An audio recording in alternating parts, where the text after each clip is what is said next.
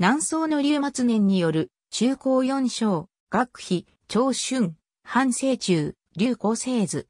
反清中は右から4人目。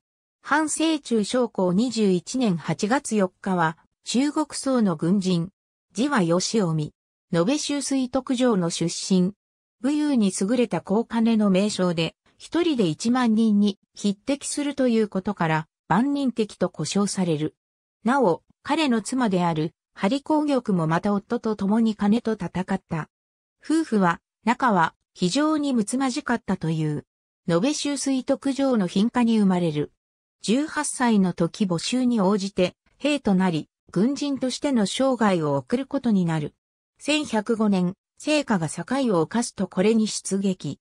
対抗を立てるが、同館の評価は芳しいものではなかった。1120年、放浪の乱が起きる。反清中は、応援指揮下の将校として、鎮圧に従事する。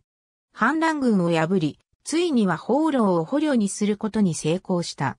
この時、反清中の活躍が目覚ましく、応援から万人敵と称賛される。しかし、放浪を捉えた功績は、新教州に奪われてしまう。また、水湖殿においてもこの功績は、ロチシンのものにされてしまっている。1121年にも金を大敗させ、盗賊を捕らえている。また、金の侵入により、王卒数万が敗走する中、一人で敵の包囲を破り、なんとか金層を逃亡させることに成功している。成功の変の後、高層をチェジュまで護衛し、以降は黄金闘争に明け暮れることになる。高天等の戦いでは、妻の良好玉と共に8000の兵で金の10万という数の差を巧みに水戦で覆し、金兵2万5000を倒すという主君を挙げる。また、1134年には高層から中高の武功第一と称された。